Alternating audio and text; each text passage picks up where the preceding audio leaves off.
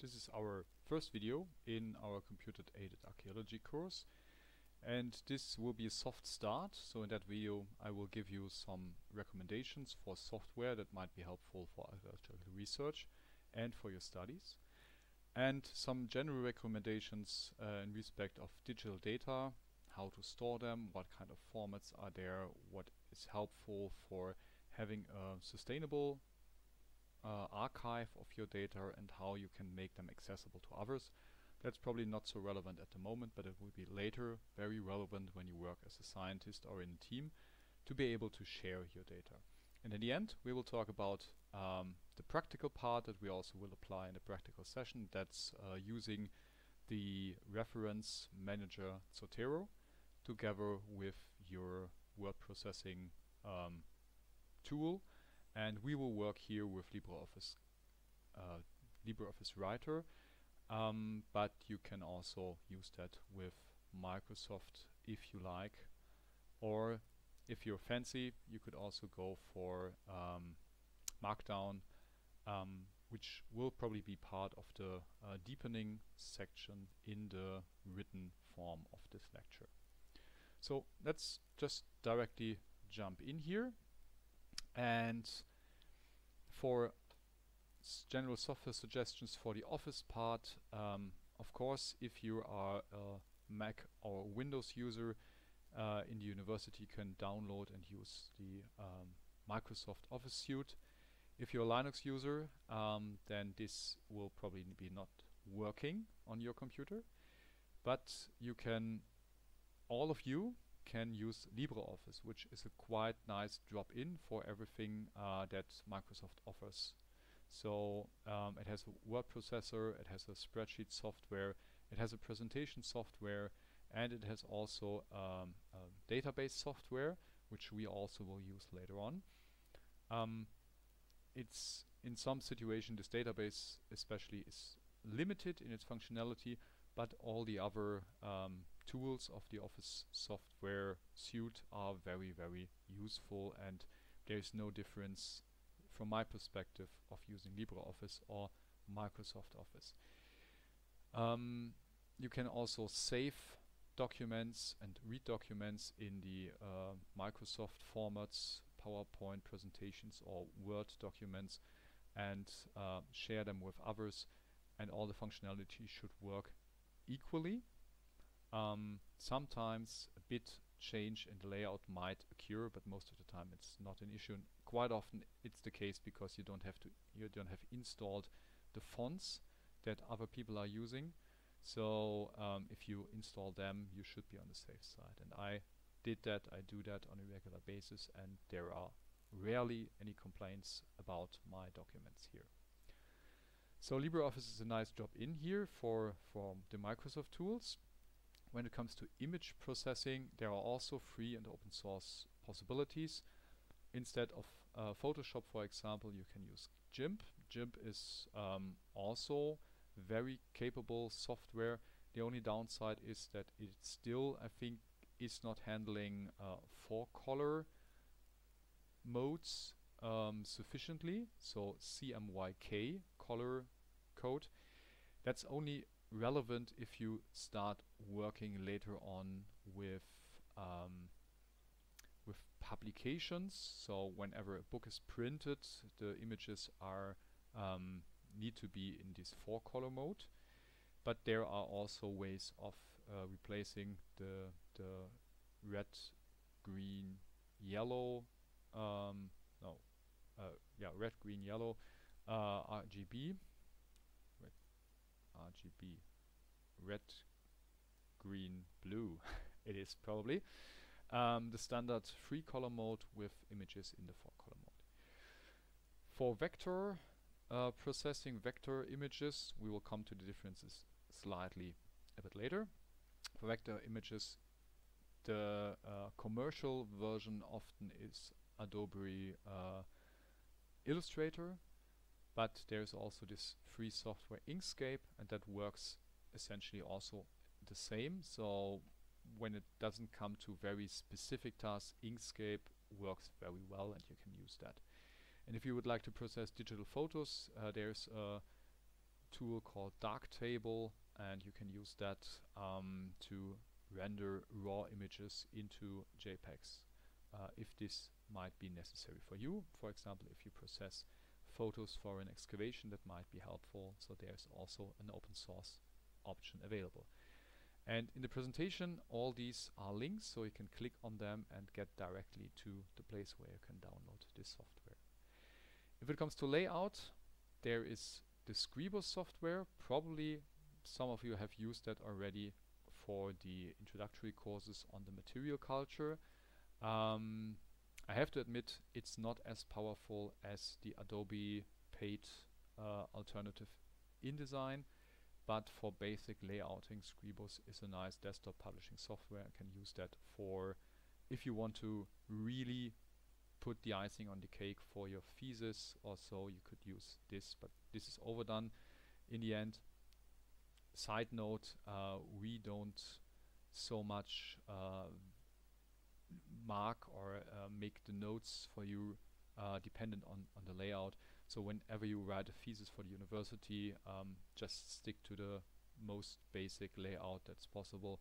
Don't has uh, don't get into the hassle to to try to make that really really shiny. The the the um, content counts, not so much the layout. But if you have a use case for some layouting for for printed documents, Scribus might be the way to go. More relevant for scientific things are citation managers or reference managers. Zotero is the tool that we will use here. It's also free and open source. There are other options uh, available, EndNote or Mendeley. Some people are using this. We will use here Zotero and in the end we will work practically with that. When it comes to graphical uh, to, to geographic uh, information systems, GIS, Quantum GIS or QGIS in short is a very capable GIS that can very much compete with the ArcGIS and it has also the uh, possibility with plugins to en enlarge the um, the use usefulness of, of the software to add new functionalities in there. And you can also add for example stuff from the R content from from this uh, statistical software R directly in QGIS or from other open source GIS systems for example GrassGIS which is pain to to use from its user front end but it's very good um, algorithms and you can use that from within Quantum GIS which is has a nice um, yeah nice structure and a nice user interface or for example, uh, there is also the Saga GIS, which is very powerful when it comes to geomorphology. You can use that from within Quantum GIS and you don't have to switch specifically to GIS to work with that. So with that, um, it packages a lot of functionality and um, there is no, for me there were never a situation where I couldn't do stuff in Quantum GIS which could have been done in, in ArcGIS or other commercial software. For statistics, of course, my favorite pet is R, and I used it together with RStudio. So that's this software here. And it's a very powerful statistical environment. You can do a lot of programming with that. You are, it's very capable. Uh, it produces nice plots. And the only downside is that it's probably not has user user interface that's not so common to you because you have to program in that you have to write computer code in a rather straightforward language but still this is something that you have to do if you want to do statistical analysis with R. If you don't want to do that um, or if you want to have a soft start there you can use the software PAST um, that's software originally developed from paleontology so uh, there are a lot of similarities with the questions that we usually have to, to answer. So all the statistical tools that you might need are part of this PAST software and you can use that for free.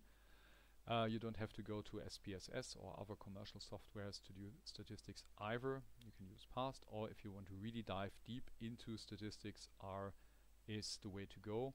And if you really want to go also into programming, together with statistics, you could also use Python, for example. A lot of natural scientists use the Python language and editors for that to do their analysis. That works also very well.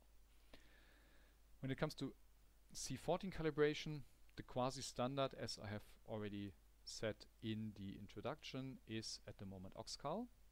It's not open source, which is uh, a bummer, but um, it has a quite convenient user interface and we will learn how to use it later in the course.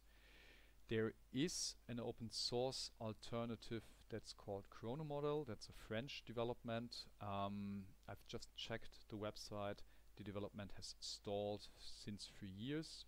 Probably someone else has taken that over, but at the moment the Chrono model is not developed further and uh, it has also a bit of an unusual user philosophy. Uh, so if you are used to, or if you start working with any calibration software, Chronomodel might, might work for you. But if you're used to others, like Oxcal for example, then this switch might be difficult for you. So in respect of that it's currently the standard, I can only recommend Oxcal if you want to do simple C14 calibration and also C14 calibration with sequential models, stratigraphical models. Um, there is currently in development different R tools that can also do that, but for the time being, Oxcal might be your best option there.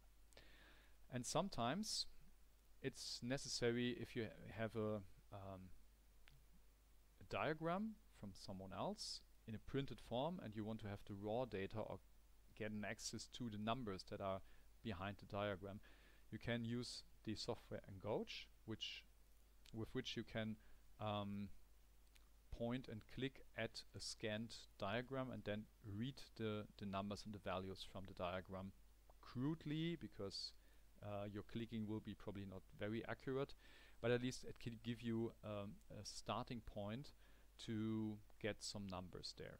So in some cases I used Engauge several times. Um, some ca use cases probably you will figure out or it's just worth checking if this is something that you can use. Okay, so that was some suggestions for stuff that you will do in your study and probably also in your later research work when it comes to software. I will also have some uh, suggestions for online resources. Um, these are not necessarily free and open source. Some probably are, some are not, but these are resources that can be very helpful. And we start with translation, so there is this translation tool DeepL.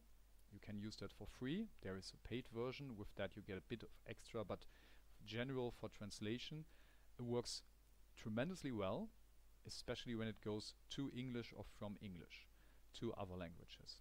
Of course, I can't check all the languages, uh, but from my knowledge, most of the translations are very good and require little change then. So you can, most of the time you work with that software interactively and change some words that were automatically translated and then uh, the rest of the sentence is adapted to your changes and in daily use, if you need to translate something from English or into English, it's a very helpful tool. Um, quite often you will need to transfer files that are larger than can be sent by email. And for these, there are several um, tools out there. One of the options is Swiss Transfer, which works very well. And it is hosted in Switzerland. So from data security perspective, it's probably a good alternative to WeTransfer, for example, that also a lot of people are using, or um, there is also a Firefox Send tool that you can use to transfer bigger files. I now have developed a habit to, to use Swiss transfer uh, only, and it works very well. And you can um, transfer with that gigabytes of data in one cent, and the the person that receives this transfer then can download this data on his or her computer without the 20 megabytes or so limit that usually is attached to email uh, file transfer. Quite often you have to organize stuff and for example um, um, dates and meetings and for that a lot of people are using Doodle, the Doodle software, kind of the original one, but there is from the German Science Foundation there is an, uh, an DFN Terminplaner. it's difficult to switch back to German. Um, and it has quite of the same functionality, the, the, the, necessary functionality from Doodle, but your data are kept uh, safe there and are not uh, part of a commercial um, yeah, business model. So that's a good alternative to Doodle. When it comes to literature search, of course, you will know Swisscovery probably already. That's the um, library connection, library uh, association in Switzerland where you can search all the university libraries in Switzerland. If you search for literature, that might be helpful. If you want to search worldwide, you can use the WorldCat um, catalog. Um, that's very general catalog. Also, the quality differs from library to library. That uh, gives their data to WorldCat. But if you want to have a general idea uh, about some um, literature that are is there for a topic or so, WorldCat is also an option to to search for if you don't find reasonable stuff in Swisscovery. Specifically for ancient studies or archaeology, Zenon from the German Archaeological Institute is a helpful resource. Uh, they have a very big library on their own, and this is actually the library catalog for uh, the German Archaeological Institute. But you can use that also for literature search specifically on ancient topics or on archaeology. Um, all the major books, all the major things should be in Zenon.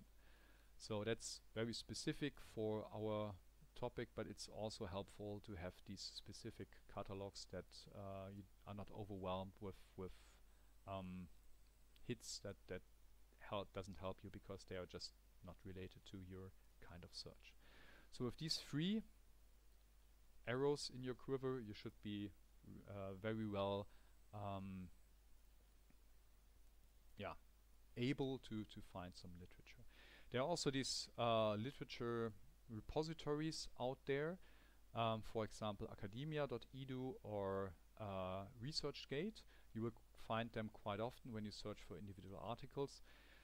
I cannot recommend them really. I mean, they are helpful uh, to get access to some literature, but uh, also here there is a commercial model attached to that and bit by bit um, they're cutting back their free services. So um, they want to force people to, to pay them. And also you don't know what they are doing with your data and you kind of give away the publication rights for whatever you have uploaded there. So I also using for example academia but it's not my favorite uh, thing to do there to, to use there. There are other ways of how you can access literature that are is not open access but for that probably I will talk to you during the practical part.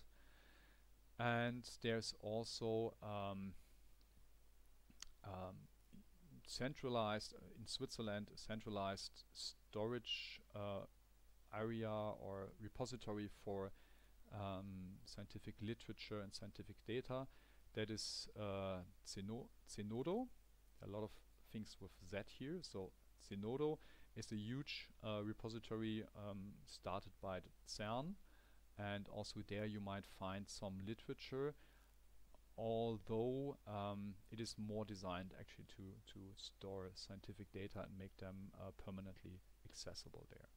So that's why it's not listed here. Switching to other another topic, C14 dates. Um, there used to be a fast way of calibrate C14 dates online, and that was CalPAL Online. Currently, it's unfortunately not working any longer, and me and some colleagues are working on a replacement for that, but this is not yet published. Probably it will be during the next half year, during the semester. Then I will give you a note, um, and with that you can fast calibrate C14 dates that you find in the literature. How we can do that in a more um, comprehensive way um, we will see later on when we talk about Oxcal because there you can also do it the same but it was very helpful to have just something where you just throw in some numbers and get a calibrated result out of that. Where you can also find calibrated dates is our new C14 database XRONOS, which we developed this year and which currently is probably the largest or among the largest databases on C14 dates there is. And soon it will be the largest database uh, for C14 dates. We also will in introduce Dendro dates for that, and probably you will see um, um, talk, a presentation about this in the archaeological colloquium, in the, in the scientific colloquium, research colloquium of uh, the prehistoric department during the semester. Um, so if you're searching for C14 dates and want to collect some of them, XRONOS is probably at the moment the best tool. Of course, I have to say that because I'm part of the development team there. If you're searching in general for some archaeological data for some purposes, there is this Journal of Open Archaeological Data or Open Archaeology Data where uh, several data sets are uploaded and moderated. So if you're searching for archaeological data for, I don't know, some tests or in general, here you'll find a wide spectrum of different data that you might find interesting in one way or the other. I only can limitly recommend this cloud hosting, things like Dropbox or iCloud or um, for example uh, OneDrive. Actually OneDrive is something that the university offers uh, for, for us uh, as a cloud hosting possibility. In the end it's practical. Um, it's can be um, very helpful to have this uh, cloud-based file system to share data there. There are other options, uh, for example, using GitHub for that. But in reality, you will be confronted with a lot of people using these kind of software. Probably, very likely, you also use one of these. But here is always um, commercial um, interest attached to it that you never know who also will read this data. Probably that's paranoia, but uh, that's something a, a, reason why I cannot fully full-heartedly recommend to use that but in practice quite often. Um, it's helpful. The same goes through to Google Docs or similar services where you can work online on documents. That's very helpful uh, if you want to collaborate with someone and for example are not using uh, you are not using GitHub or similar things. There is also Etherpad, for example, as a collaborative writing tool, but most people will probably default to Google Docs. And as long as you know what you're doing, and as long as you are not, it's not very critical about your data security and privacy, Google Docs might be a very helpful tool.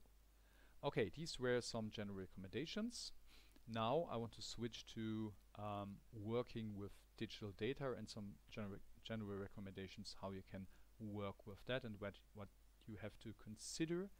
Uh, that is things how you organize your data, also how you control different versions of data, especially if you work together in a team. There are some um, tools that help you with version control, but you can also do that on your own on your own computer uh, in a reasonable manner so that you don't lose track of different changes. Um, when it comes more to reuse informations, uh, it might be relevant to think about different file formats, which benefits and drawbacks are connected to different file formats for text, for images, or for other things. Um, and especially if you want to share data, it's necessary to document the way how the data is created, what the content is. It's called metadata. And um, especially when you publish these data or yeah, work collaboratively on data, it might be helpful to have a basic idea how you can document that. And in the end, of course, you have to select those things that you keep and throw away other stuff. And that's also something where you can start already now, put some, some thoughts into that and develop a system that works for you, with which you are able to limit the amount of different versions or different files that you have on your computer. Of course, it's at the moment in the time that we are now not so much an issue about um, file size or data size. It's more that you, the more you have, the more you lose track about stuff. So also getting rid of stuff is something that helps you um, with your organization. So file structure, um, you should develop a system that helps you to know where you look for um, to find that stuff that's really relevant. Um, so that's logical to you and that's easy to understand for others. Um, that helps you share your data or exchange data with other people, but also it helps to work together with your later self um, and um, reuse data on later stages. Um, it's especially important if you are working with file formats, especially for example these Esri shapefiles. This is a GIS format that actually consists of multiple files, not of just one file. And there you have to keep these files together, otherwise your GIS project will not work any longer. And in that case, it's necessary to have a good file and folder structure that you can um, rely on that all the data is always there where you want it to be.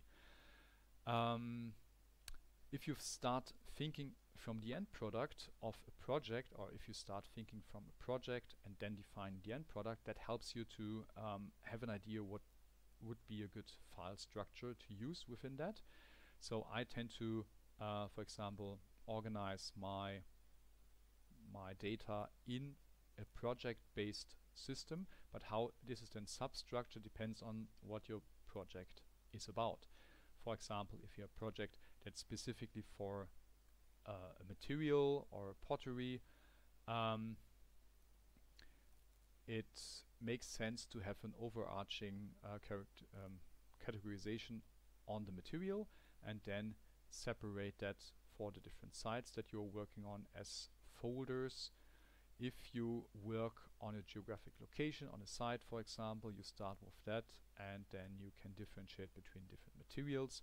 So it always depends on um, what your main focus is and what the end product of your project will be, what the end product of um, your work will be. For example, if it's a thesis, then you will probably have a structure that reflects that um, and also have a structure that reflects the general idea and structure of your document uh, where you store your data in.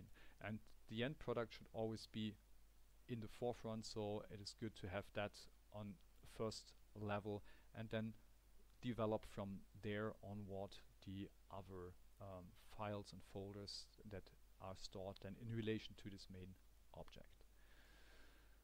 Um, so you should start with a defined end product of your research and keep your temporary folders clean, remove files that are not necessary any longer. Of course, research designs can change, and so the file structure must probably also reflect that change. But um, as long as you have a good working system, it's probably easy to adapt this system to other uh, situations. As long as it is um, maintained in a structured way, you should be able to to switch this structure with ease. Um, you should also avoid using too many folders or too many subfolders because with that again you can lose track of stuff and um, the whole um, structure becomes un unoverseeable if this is an English word um, so there's a rule of thumb having dividing items into seven sub items more or less um, and if you need if you realize that you need more subfolders within a specific situation make a deeper structure, divide first into a higher level hierarchy and then make um, make a deeper structure there.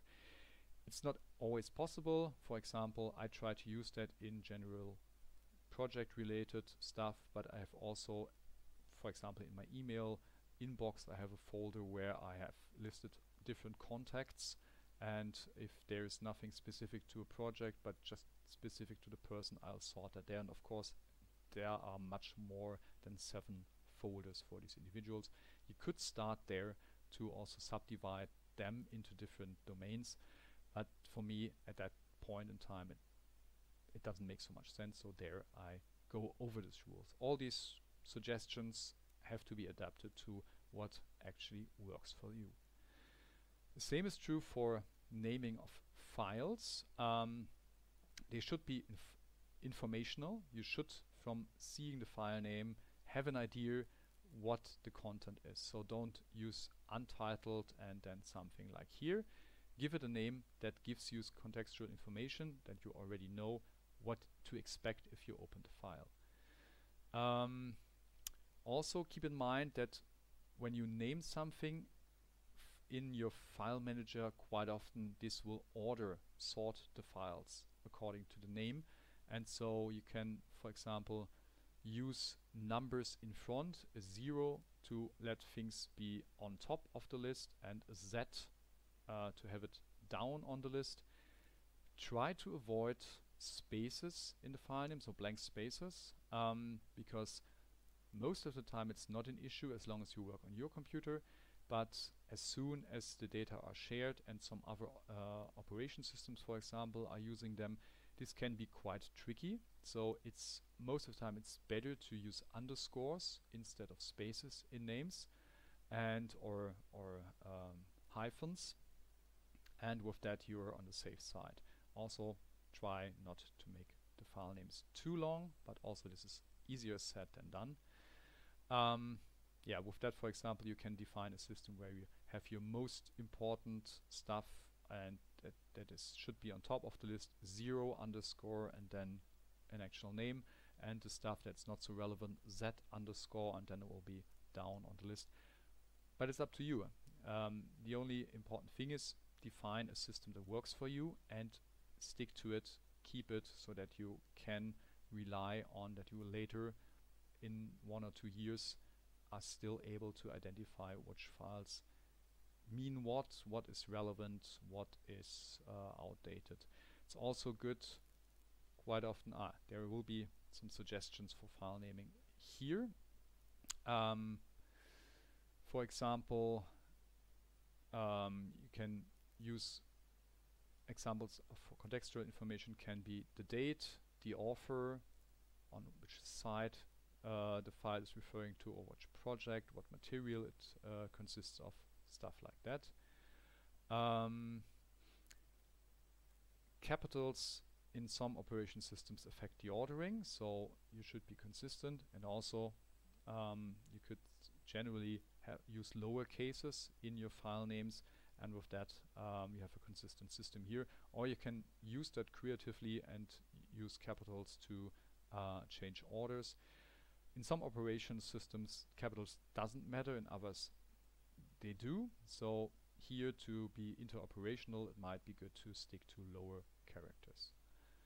Um, numbers, as I said, uh, order files only if zeros are used before units. So uh, if you have, um, if you start something where you know that you will want have more than 100 items, you should start with two leading zeros and then the one, and then this will order up to 999 the the files in the correct order. You can use that to your benefits. Dates are useful also for version control and for order ordering for sorting files. Uh, it is good to start with the year, then the month, and then the day, because then um, the ordering will reflect the actual date, and the ol most oldest stuff will be on one side, and the, the newest stuff will be on the other side of the list, depending on in which direction you are ordering then or sorting your, your files. Said, spaces uh, can cause problems, especially in GIS or other open source software, for example. Um, you should use underscores. Forward slashes in file names can also cause problems, and capitals, beside the fact that they can affect the ordering, are hard to read, so probably you should stick to lower character uh, names. Again, these are suggestions and also myself I'm not always stick to the same system but when I don't do that I often realize that later that this can cause or cause a problem there. Version control, we'll go not very deep into that. Um, there are tools that can help you with that uh, to keep track of different versions. Um, you can use this naming conventions to have an idea what is the most current version. This is especially necessary if you, for example, exchange uh, files with someone else. Then it also might be helpful to put the initials of the authors to that, that you know who changed what when. Um, also there, it can start becoming messy after a time. So you should always have, for example, a folder um, which is an archive where you store old versions and also delete old versions if you are sure that you don't need them any longer. Um,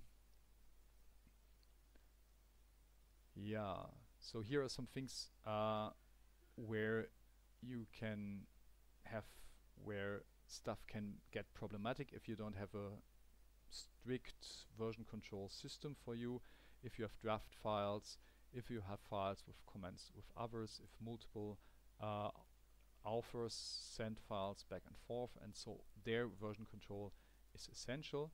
But also for images and, for example, AutoCAD files or other files uh, that are more complicated, it's necessary that you um, get good version control system that you know what is the file with the latest edits, for example, because in text documents that might be obvious, but when it comes to other uh, files, that's probably not visible on the first glance, which is the newest one or which is uh, has been changed by whom.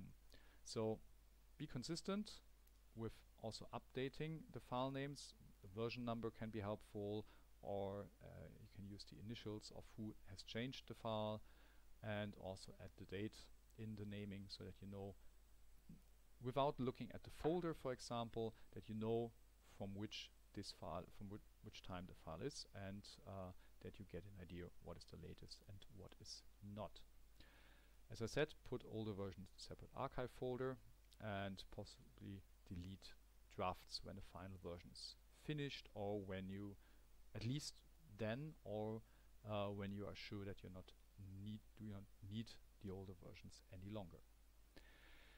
This is one side, so keeping stuff in uh, in ordered fashion so that Marie Kondo is happy with you. The other thing that you need to consider especially later on when you also publish files or exchange files with others is what kind of file format you want to use and also for when you archive files for later use to work together with your later self uh, it's necessary that you spend some moments to think about what file formats might be helpful for you. So um, most of the time, so this is this, this circle where you create stuff and store and use it, then probably share it and archive it. Sometimes you might destroy it and then restart, or you uh, share it with yourself or some someone else reuse that, and then um, it's necessary that this is still possible. Software changes, different computers have different um, tools, different different tools itself use different different formats. And here most often the best idea is to go to open and very simple formats and especially also to human readable formats. So human readable of course when something is stored on a hard drive you cannot read it without a computer. But as long as you have a computer and a file system that can be read by the computer, it's always preferable that you have a file format that you can open and see some meaningful characters and not just some strange signs that cannot be read by you. If you still can read the information and extract the information, there will always be a way to restructure that so that you can use that later on with a different software. Um, key issues. So there are quite often there are closed soft closed formats and open formats. Closed formats are those that are proprietary, so those that are specific for just one tool, one uh, software, and that uh, where th there is no standard except for the standard that the company itself sets for this file format. On the other side, there are open standards, open software, uh, where, for example, you have an ISO standard defining how the soft how the file format is structured, and with that, you can always relate to this ISO standard, and other people, especially programmers, can do that, and with that, you can have multiple software open this file and you're not forced always to have this version of the software that you are were used uh, that you have used when you have produced the file. I already said non-human readable binary formats are can be considered as closed formats while human readable text-based formats are open formats and most of the time preferable. It doesn't work all the time. For example, images cannot be stored in a human readable form on a computer, except if you print that out and just put it on your screen with some some glue. Um, so in that case, we can't do that, but for any other just informations, it might be helpful to have a human readable format or basically human readable format. And for example, SVG files, and it's not easy, but essentially this is a graphic format which in a way is also human readable so it's preferable to other formats and then what some people probably don't think of compressed files are if you don't have the compressing software any longer are inaccessible while uncompressed files is something um, which without this extra hurdle of uh, com file compressor you always will be open uh, possible to open again. So when you store something for longer uh, storage, it might be better to use the uncompressed for uh, form, except for a situation where this will become unreasonable large. But most of the time, the difference might be not so big. Okay, so when it comes to texts, um, there are different options in which how file these files can come to you. Quite often you will receive Word files and so conference notes, articles, thesis, books, etc. could come in Word files. Probably books come more often in PDFs, but these Word files are so the depends on the, your text processor. Um, nowadays, actually, Microsoft uses also an open standard, but um, they are not human readable as such. Quite often it's probably better to use simple text files that you produce with an editor and probably also with a bit of markup. Scanned materials you often will have as PDF but also nowadays books and other other things that you can download for example uh, scientific literature. Um, if it's scanned material you can quite often convert it into edible uh, text files using this OCR software, text recognition software, and that might be helpful also to later scan the file and get an idea what the content is, or if you're searching for a specific keyword, it might be good to have uh, this recognized uh, file instead of just the um, scanned material, but you can do that at any time. Um, you probably will also see quite often HTML on web pages. You probably will not read HTML directly, but this is also a format where it's uh, where this text information can be stored, and this is actually human readable. The same is true for other markup languages. Uh, LaTeX is something um, that is used quite often in natural sciences to produce theses or books. Markdown is a much more simpler markup language where you have a limited amount of options and I probably will go bit more into detail in the textual version. Um, these are um, most of the time text-based languages that are not uh, rendered directly but can be rendered at any time and are human readable. So these are some benefits of these kind of text storage. With this, there are this is a selection of different formats in which you can store text. Um, there is this standard TXT format that comes uh, on different computers. It's just a simple text file, simple plain text document.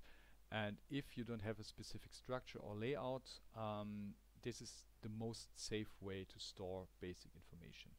You can also use that with README files on in your folder, in your project folder to store there the general ideas, what is in the folder, and then you uh, will always be able to identify what was there and probably also keep a log there about changes. That's, yeah, that is a suggestion. Admittedly, I also don't do that very often, but I should probably do that much more often. But I'm using text files on a regular basis because a lot of writing I do, I do in Markdown and there you store the information in a simple text file so it will be always possible to reuse this information later on. Until 2003, Word, Microsoft Word had a proprietary binary format, this .doc format, and you can still find that sometimes around. It can be read by Open and LibreOffice, and it can rather easily be converted to PDF, which is probably better for long time storage, but it's a binary format, so it's not readable. Um, it's accepted for archiving because it was used so widely, but uh, it is already probably become obsolete and replaced by this Microsoft DocX format, which is a human readable XML format. I mean, human readable is a spectrum. An XML to, to read an XML, it's not very easy, but you can always extract the information from an XML file with other software. Uh, usually it's uh, compressed with with zip with a zip algorithm. That's a standard algorithm. Still, when it comes to more um, uh, long-term storage, um, that might be um, um, negative side. It's good for dissemination preservation. For dissemination, especially because you can always work on that and change that. So if you work collaboratively uh, probably you will default to docx, although there are alternatives, for example this open document text, which is actually an ISO standard human readable XML format. Um, and with this ISO standard it is even more standardized. It's still not so widespread used, but it's actually um, um, yeah. Meanwhile, also open you can also open that with with Microsoft software. Um, so in the end, it's probably um, preferable. And there's this rich text format that Microsoft also invented. That's a more general format. Uh, it will um, result in larger files.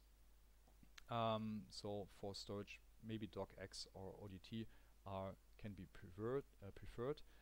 Uh, it has some basic formatting uh, that might look different in different softwares, but um, this is also a more stable um, software. So it's something in between these uh, word processing files and the pure TXT format.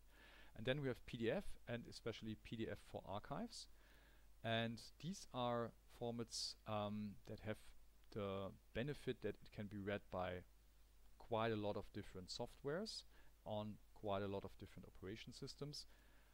On the negative side is that you can't easily change that without um, hassle. So that's something that's good for disseminating results, for example, handing in your thesis or your, your work, or um, publish that somewhere in the internet. It's also print format, so usually it can be printed directly. Um, so that's especially PDFA is something that is used as for long time archiving. If you have an end product, you can transfer that into a PDF or PDFA and save that and have it forever, probably, or at least uh, as long as there are computers around. When it comes to images, um, it's a bit more tricky than for text formats.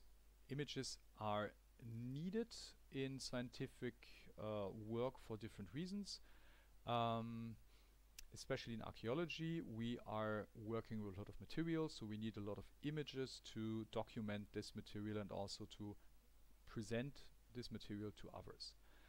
Um, images are resource hungry. They most of the time they produce large files, so digital images often make the largest parts of digital archives. And there's the distinction between raster images and vector images. In raster images, there's a matrix of dots and pixels containing the information, photos, scans, for example. While vector images, you have points, lines, multiple lines, or polygons that are represented by coordinates and mathematical formulas within the image. And so the main difference from a practical perspective is if you zoom into a raster image, at a certain point you will see these individual dots or pixels. While if you zoom in to vector images, um, it will also be crisp. You will never uh, see any pixels there because the information doesn't con consist of pixels. So for printing, for example, vector images are to be preferred because they will always look crisp but most of the images you probably will work with are rather raster images because it's photos and they are just pictures of the real world and then uh, pixelized or scans. So um, whenever you produce a graphic on your own, it's good to store them in vector form while uh, the end result for publication or for dissemination uh, raster image might be fine but here still also vector images if it fits are to be preferred. So as I said, rasters are the stuff that you most likely will use most often. So scanned images or digitally captured or created images by cameras or rendered illustrations. This will all end up in a raster file and can also be the output of other digital applications of vector files for example you can render them you can raster them or of GIS if you have a map um, that should be part of a presentation then it makes sense to have a raster here. Or for example, geophysical survey data, if you have a, a geomagnetic um, investigation, this will result in a rastered um, representation of your site, and then you have a raster image. When you create a raster image, you always have should think what is the end use of that. Should it be just for the screen, just for a presentation? Should it be for print? Uh, so should it have a high enough resolution or is it a reference image that ha cannot have high enough resolution? The higher the better and you have that uh, for example to work from this reference image. If it is that um, you should always select the best possible resolution there is and you can always downscale to a lower resolution. Hardly there is a possibility to upscale stuff.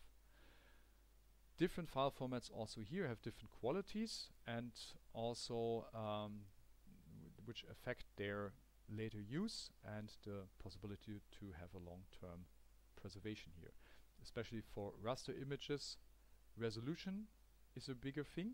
Usually it's given by dots per inch, DPI, pixels per inch, which is essentially the same.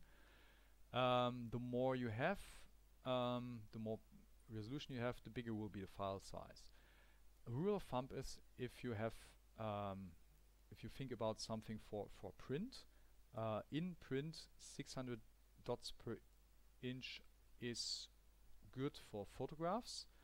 300 might be good enough for illustrations.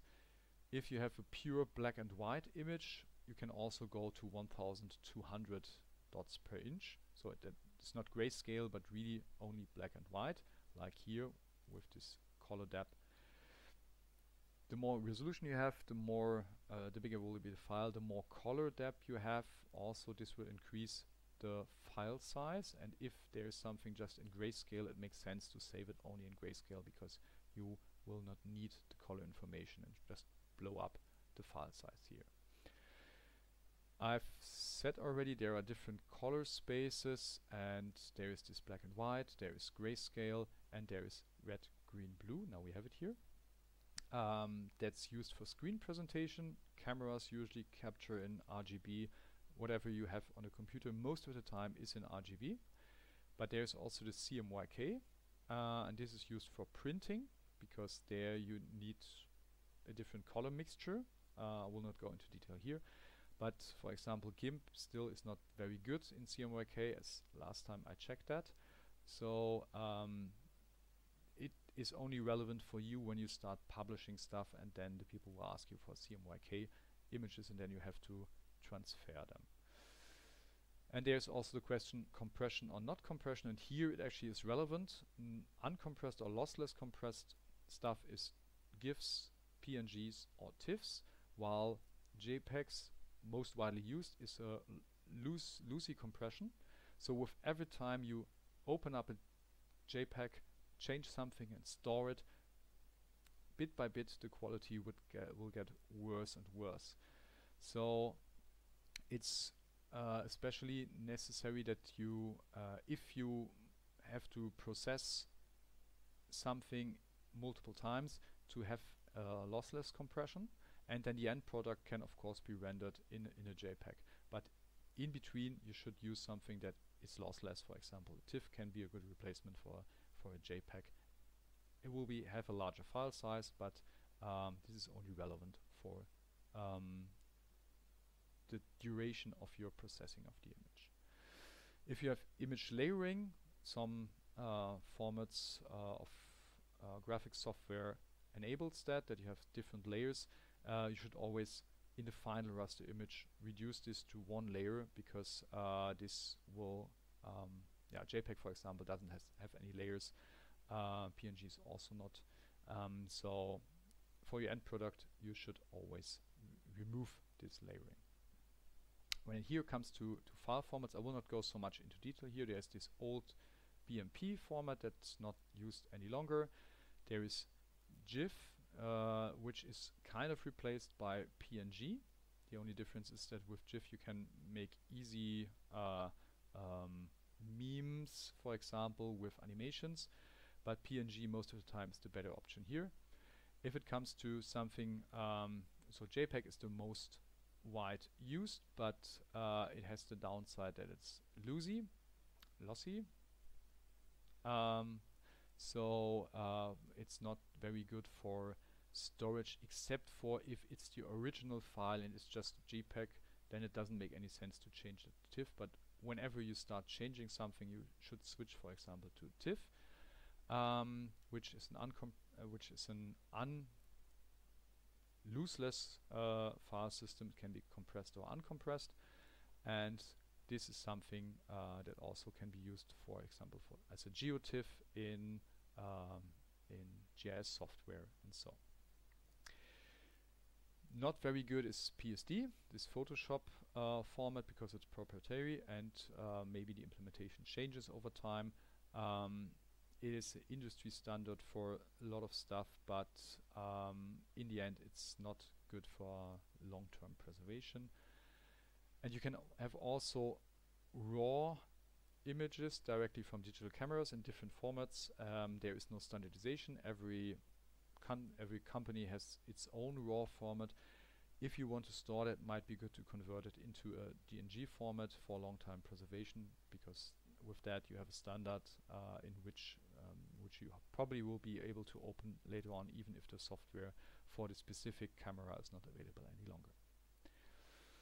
So the key points for raster files, think of the purpose of the image, um, the and what the document uh, should actually um, show in the end. This should influence your image creation.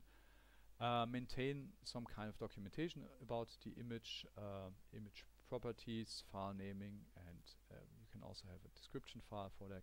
If you work with JPEGs, save the original as an archive and work on copies that you don't have this bit by bit um, loss, loss of quality and save working copies of raster outputs of vector files and replace them with the final version. Don't work uh, on the rasters themselves, work on the vectors if possible.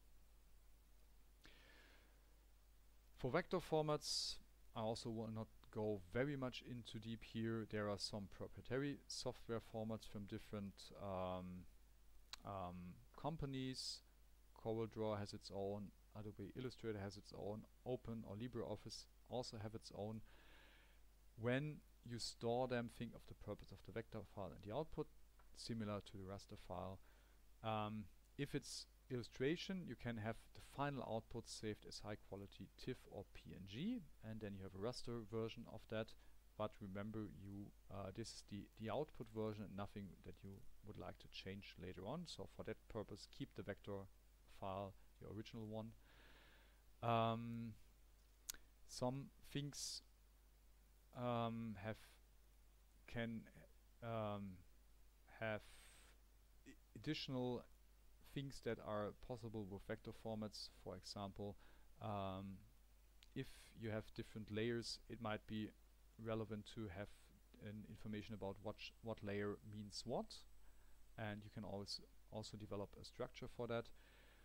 You should probably go for the SVG format because it's a standard and it's readable and editable by quite a lot of software so you don't have to use this proprietary software. Also PDFs can hold vector data but sometimes they are a bit diffi more difficult to handle because PDF originally is meant for something else but um, you can also use that or the SVG format. Um, both are fine for storage and later reuse. For example, if you open an Inkscape, a PDF, you can always store that as an SVG, as a standard SVG, and then you are on the safe side here and can always reuse, for example, this plan of the excavation site. Okay, time is running. Other things that you might come over across are spreadsheets and databases. Most of the time, uh, actual real databases are not individual files that you will have on your computer, but that are stored somewhere else. Um, there's a difference. A spreadsheet software, an Excel document, is not a database. Although you often hear that people talk about their spreadsheets as databases, they are not. They are used for um, working with numerical data, performing calculations and produce charts and figures, while database is designed to store and retrieve complex information. So um, this is a difference here and you should use the right format for the right product. If you want to calculate stuff, spreadsheet software is fine. If you want to store data, you should use a database. If it's a desktop database like Access or uh, LibreOffice Base, it's up to you. Um, or SQLite, for example. But um, yeah, you should not mix them too much. Important is for these formats, the data values themselves are relevant, but also the structure of the tables or sheets in which this information is stored and the structure of the relationship between the different tables. So here I mean the different columns, for example, and here I mean what kind of document part documents what and how they are connected to each other. That's something that you also probably would like to document if you think this file will be of later use for you or others, um, the structure should be accessible somewhere to um, later get still an idea what this data is actually about. It's probably not so necessary for very flat structures, but as soon as it gets to more complicated structure, this is of key importance. For data management in whatever you are using, uh, it's necessary that you that your data is consistent, that you can rely on the data. So you probably should standardize that and have methods for controlled data entry. In databases, these are usually forms that you use for data entry and not directly type something in a table, for example. Um, files and the file itself and the field name and the codes that you're using probably uh, should be documented in a separate file best it would be a text-based uh, README file that documents the structure here and uh, document relations of, for example, database tables can also be stored in these files. There are specific um, files, file formats to store this kind of information. Quite often it is already helpful if you have a screenshot of the relationship of the database tables that you can do from uh, your desktop uh, database software, for example. You can also embed files or objects into databases. Uh, but most of the time it's better to store them separately because uh, most database software is not very good in handling data formats. So in that case you should have a link to the specific file and keep the folder structure consistent that you always will be able to find these files later on. In that case it's just a, a linked uh, verknüpfte Datei for example. Uh, in German I can't remember what the English word for that is. Um, so you should most of the time not directly embed this. Um, and you should also document if it's a very complex database uh, how you receive uh, um, receive the informations for for example individual figures or graphs and that should be part of your uh, scientific publication. Again that's probably not so necessary for your thesis but there it starts to become necessary. For your homework probably also not but later on this is uh, good practice. Um, and embedded objects should be removed from the final archived file and stored separately. Um, there's also non-data content that is formatting um, document formatting of, of tabular data fonts colors cell borders etc and input forms and search queries that can also be stored within the database for later use. Um, ideally, um, the database should be documented in a way that you don't need this part of the of the structure to understand the database, um, but they are helpful in daily business and they are also part of databases. A database can become quite complex fast. I will show you a screenshot of the database that we have developed for uh, one of the projects, for the scientific projects that took place here and you can see um, that here's uh, all these here for example are reduced there are some fields in these individual tables all these blue things represents individual tables and for the main tables you can also have a glimpse on what kind of fields they are in uh, and this is already this is a good helpful documentation to get an idea about the structure um, of the database later and to identify what is connected with what to later reuse this kind of data. It's better to keep your database as simple as possible, but reality is complex, so sometimes also data structure need to be complex. Okay, I think there was now approximately one hour talking, and that's quite on point um, for this part. Um, should I make a break? Oh, I just continue with this one video and then you give me feedback if this is okay for you or should split the content more individually.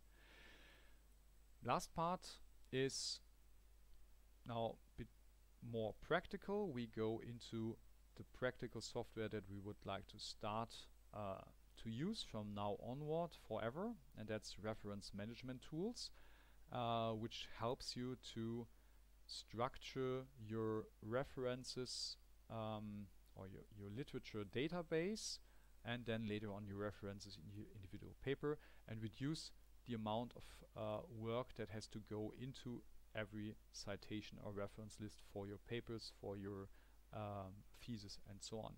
So basically if you are not using this kind of system you put in the different citations of books, articles or whatever you have in the text as pure text. If it's not natural scientific or uh, um, humanities citation style doesn't matter. And in the end you type all this literature in the reference list or bibliography. And then uh, for from a text perspective this is uh, you can the reader can identify from where you got the information. So good so far, but if you do it like that, there's a lot of typing involved. You always have to peruse this whole bi bibliography by typing all the literature. Um, there can be lost references. For example, if you remove something later here, it will still be in the bibliography. Or if you cite something here but forget to put it in the bibliography list, then the, the reference is not there you can make a lot of mistakes, just typos for example, or um, citing um, two different papers, but in the reference list you have only one of them because you forgot that in the same year the author has also produced this other paper.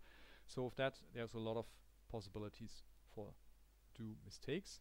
If you use a reference management tool like Zotero or others, you will at first enter all this information about different literature in your reference management system and then you can directly enter a citation in your article from the reference manager and then the bibliography will be filled automatically from your database.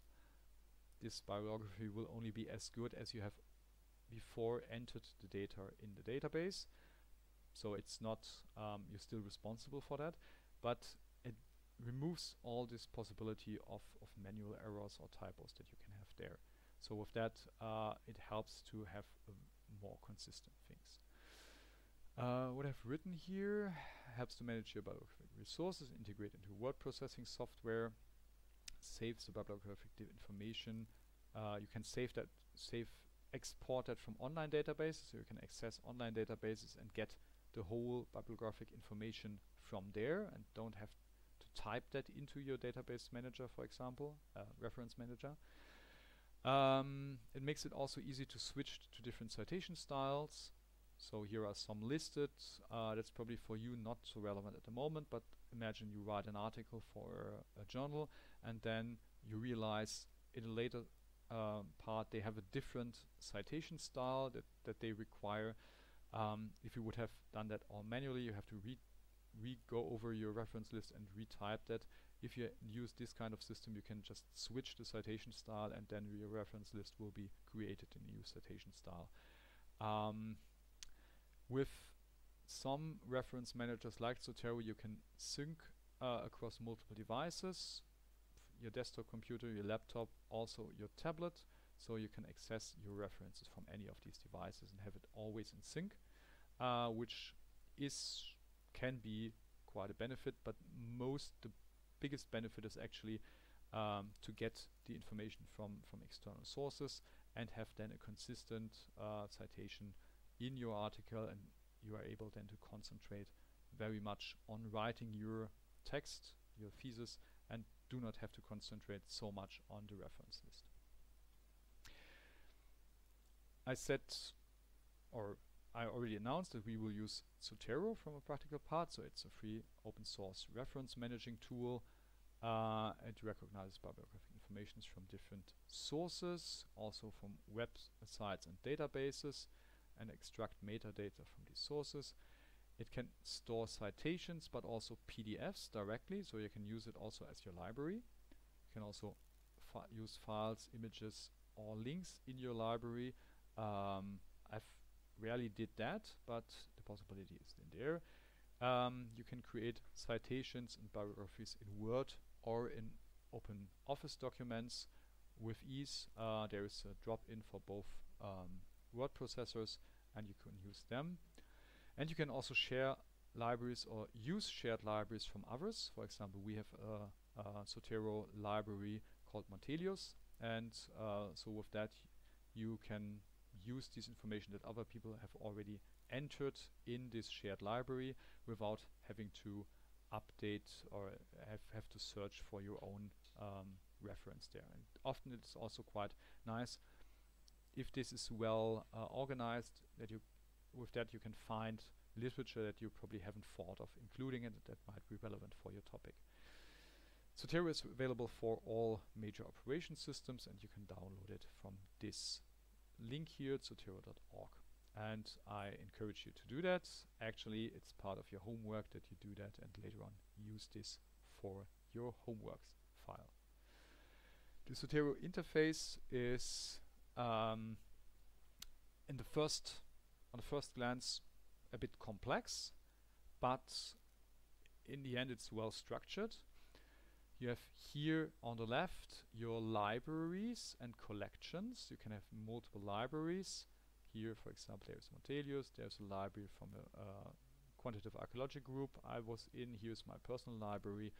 And in that I have different collections. And in them I can store um, informations specifically for individual projects, for example, or for individual tasks that I need. And you have the entry only once, but it can also be one literature can be part of multiple collections here. You can also have down here a tag uh, cloud with which you can select for tags. For example, you can tag your literature and then you can find it easily for specific topics, for example. In the middle column, you have the list of your bibliographic items, books, uh, here parts of books, chapters for example, or individual articles.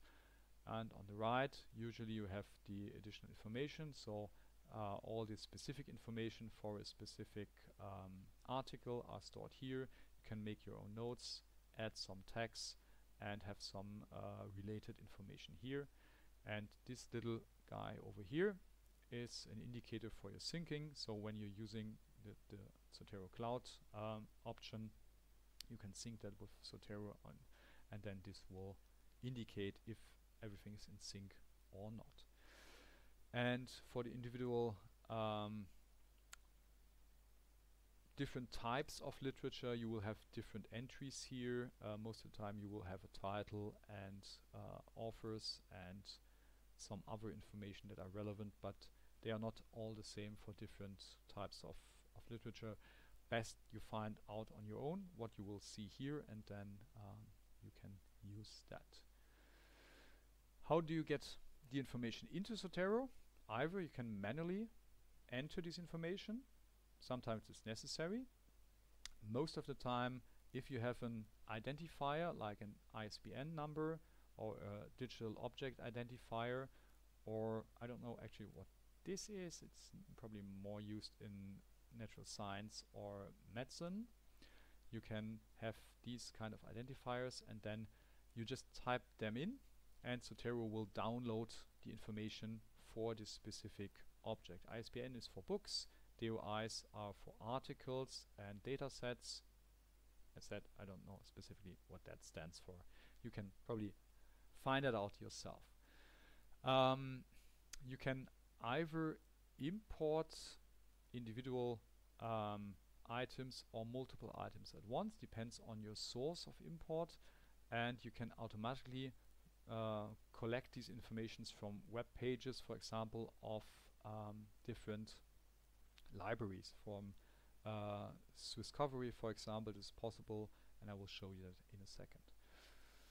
So manual entering information can be like that. You click here on this little plus icon, and then you get a blank entry here, and there you can enter, in this case it's a book, uh, I specify that here and then I can enter the title, the authors, I can add more authors with this here and all the other informations that may or may not be present. For example, if it's part of a series, you can enter the series here and uh, if it has different sub-series, you can enter the number of the series and the number of the volume. If it's part of multiple volumes, you can say that's number one of three volumes and so on and so forth. You can see these different entries here and make sense of them. For that, of course, there's still a lot of typing involved. Sometimes it's necessary if you don't find your literature source in, for example, also Zenon, this German Archaeological Institute uh, library. That's quite often my uh, go-to when I when I'm searching for a bibliographic information. Um, and yeah we'll come to that in a second. Sorry it was a bit too early. If you have a um, unique identifier like a DOI for example in most of the journals you will find somewhere this thing here DOI https doi.org slash and then the actual DOI the digital object identifier. You can copy that paste that in and automatically Zotero will import this most of the time. Uh, I already had some occasions when this DOI was not identified, but most of the time it works. And if you're talking about a book, if you're looking for a book, you can use this ISBN number and it also will find this in an online source for the information. If you do that you still need to check if the information that automatically is imported is correct. Most of the time it is. Sometimes it's not, and sometimes probably also some important informations are missing that you probably would like to have there, and then you have to type them on your own. But already with this, it's much faster than if you would have to fill in all this information on your own. So just click here on this magic wand, enter the DOI or the ISBN number, press enter, and then most of the time you will get all the relevant information there. In case you have already, uh, you are on a um, journal page and you have installed the Zotero connector to your browser. Uh, disclaimer for Safari at the moment it is not working but for Chromium, Chrome, Firefox there are these uh, plugins for the browser.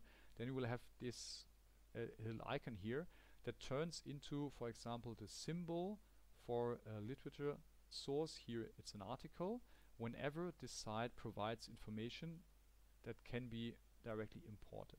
So in that case here on this journal page um, this turned into this symbol and I can click on that and then it will be stored in you have at the same time have Zotero running or need to, need to run par in parallel then will be stored in the collection that you are currently have selected so in that case I click here and then all the information are taken from the journal and entered here into the um, database. You can do that with a single reference for a single article, for example. If you are on uh, on a um, library website catalog, um, this is SwissBib, but it also works with uh, Swisscovery. This item might be a folder for your search here. So I've searched for Neolithic, of course I find a lot of uh, hits there and uh, if I click then on this folder icon I get this little window here where I can select what um, items I would like to import. If I then click on OK, these are all imported if Zotero is running in parallel. Here it's not, it's still the same picture like before, but it would import these then as individual entries here in my Zotero file.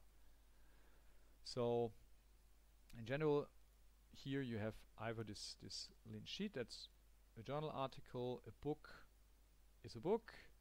If this is a folder, you have multiple icons, uh, items there. It can also be an open book, then it's part of a book and this reflects the, uh, the display in Zotero here. So this closed book is the full book, the open book is a chapter, this is an article, and there are also other options there. For example, web page have their own symbols. And you can also um, use them to reference them. Keep in mind a web page is not a permanent storage, so uh, there, if you cite a web page, you always have to also say when you have downloaded that and better it is when you have actually a DOI for this. But most of the time for web page this will not be there. Okay, now we have different ways how we can enter information into Zotero, but we want to use them and store them in the article that we are writing. For that, there is there is a plugin from Zotero for these word processors. You have to install them, and if uh, you do that, in this case I use here LibreOffice Writer, I have this little bar here where I can access my um, my database. Zotero must be running in parallel. If I click here the first time, I will be asked which kind of citation style I would like to use. Uh, Harvard style is probably the standard natural scientific style, but you can also select something else here. And you can also import different styles for that. Um, that might be relevant if you publish with a journal that has a specific style um, and then you can also use the specific style here. So it's it's um, flexible in that way. Okay so if you click on OK then you will be asked to uh, select um, or if you then click here again uh, you will this is a test, I wrote something, then I want to cite something, I clicked on that button and then I get this little window here where I can start typing. And um, that searches for the information in the library. And um, then I can select one of these entries here. And with that this will turn into the citation. At the same time um, the reference will be also included in the reference list for this um, citation. When I remove that, also it will be removed from the reference list. So that automates the way in which you can cite literature and makes it much more um, controllable and uh, um, reliable for you. Um, and also it helps to uh, have uh, this, for example, changing this the citation style is easy. And you can also export your library from Zotero, give it to someone else as a file, and then whatever might be here missing or so, probably these uh, the publisher can extract that from the Zotero file or from the exported BibTeX file, for example. You can export them in different formats and then correct anything that's necessary here. So uh, from that perspective, this is also quite helpful. So using that is quite simple. As soon as you have collected literature, you can easily use that in your word processor and get a citation here. You can also use Zotero for collecting references um, and later use them, for example, in LaTeX or in BibTeX, um, uh, LaTeX or in Markdown. That's a different story. I will not go into these details here. Probably most of you will start working with word process pro processor, not professor. And later on, um, uh, will discover the beauty of using Markdown and then you can still use your uh, literature database that you have created before. You can also register for a free Zotero account um, it is useful because it enables you to sync and access your Zotero library online. This is actually advertising. Uh, you have up to 300 megabytes of content that can be stored there, including PDFs online, so you can access your stored PDFs there. Um, you can restore your uh, backed up content from any new Zotero application installation. So when you, for example, have a new laptop, you can just transfer this content to your new laptop and have the same database there. Uh, you can participate in Zotero groups, for example, the Zotero group Montelius that is hosted from our uh, institute and you can share your references with others so that others also can benefit from your collected work there and of course you can also use their references there. These are the benefits here. It's up to you to do that. You don't necessarily have to do that, but uh, it's helpful and it's also definitely helpful to use Zotero in general. So we're approaching the one and a half hours limit, but actually I'm also through with my content.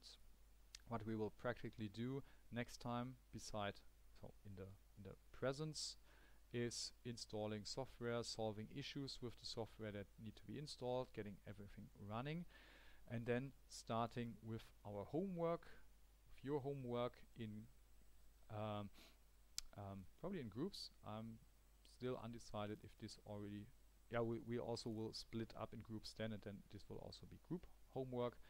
You will create uh, a Word file or Libre LibreOffice Writer file to be more precise and use Zotero uh, to cite some literature. First you collect some literature, then you will use to cite that. If someone wants to try out this in Word, of course we can also do that. Um, so that will be the practical card for next time. So we will try to do all these steps that I have showed you before. We will install that, and you will collect some literature some from different sources and then you will create this document and then you should have your homework already done and no extra work is necessary. So that's the basic idea that you spend your time now watching these kind of videos, probably already trying out stuff. If necessary, read the uh, the written um, record, the, the, the, book for this, and then uh, resolve your homework during the practical time together with me and your group, and then also later on work on your project. If you have any questions, contact me. You can do that uh, via email or in the Slack group. Um, of course, you know, here is the, the website again. If you have seen this video, you probably have already found the website. Um, I used some sources for this presentation. Uh, you can see them here. So if you have any questions, drop me a Slack post or an email and we will try to figure that out. But probably best way would be if you ask these questions in the group also in the uh, in the presence part so that everyone can benefit from your question and the answers that I might be able to provide. Okay, see you soon in one week. Looking forward. All the best. Till then.